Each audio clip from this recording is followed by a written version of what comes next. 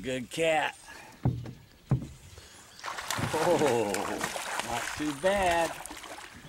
Nice fighter too.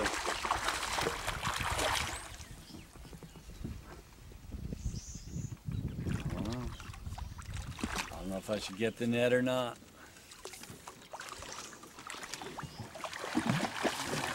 Right here.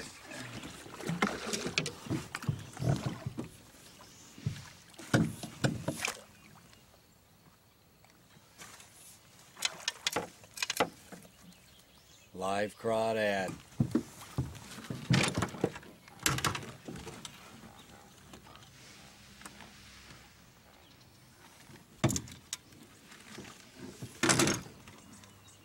Live crawdad. Well, find yourself a little slough. Get yourself some crawdads. and You can catch catfish like this. I'm gonna release this one.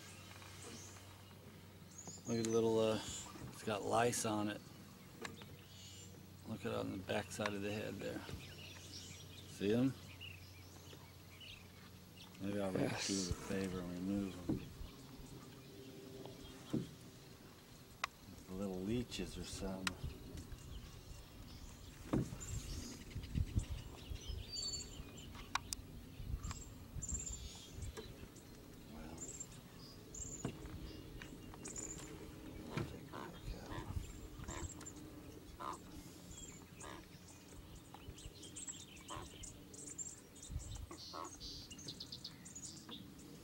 He's hooked good, that's for sure. I'm probably gonna need the pliers.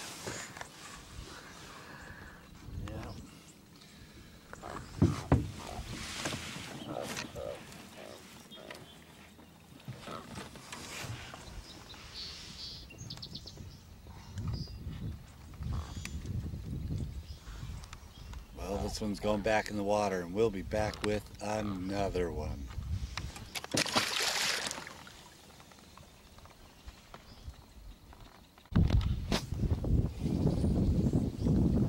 Back with another one. Ain't quite that big though. Oh. Nice channel cat.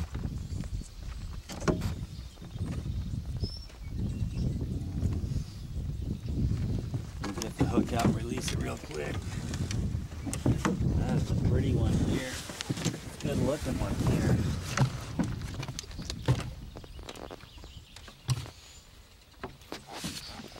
That's a pretty channel cat. It's a talker too. You hear it? Oh, now he don't want to.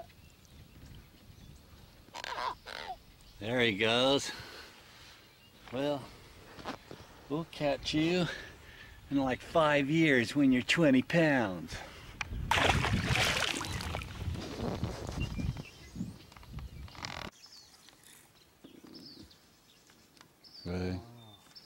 Here we are. And a nice.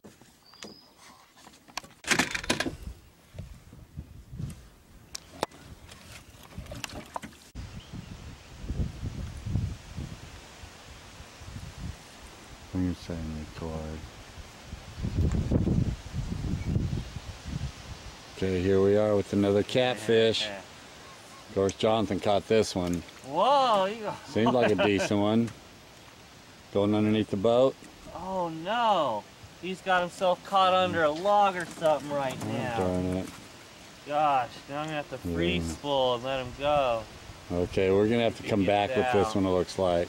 Sometimes when you free spool them, they come out of log jam and then uh, you'll see your line moving so you figure he's moving around. We'll try and get him a little bit later. We're gonna have to over and out for now. Alright, we're back with another cat. Lost mine though. Under that timber went under the boat, snapped off. cat too. Luckily we got another one on a couple minutes later. Underneath the boat also. These are nice cats. Oh yeah.